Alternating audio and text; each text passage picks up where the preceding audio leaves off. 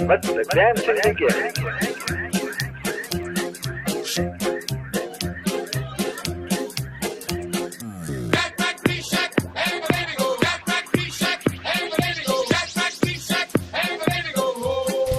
Coco de Mama International lands in Rome, Italy. We asked our friend Daniela Majorano, chef of the restaurant Osteria Capo Le Case, a very well-known restaurant close to Piazza di Spagna, to prepare for us the pasta alla carbonara following the Coco de Mama original recipe. One of the hypotheses over its origin speaks about a mix between the Roman traditional cuisine and the arrival at the end of the Second World War of the American troops, their K-ration, which included powdered eggs and bacon. It makes sense, doesn't it? Anyhow, let us enjoy Daniela at work.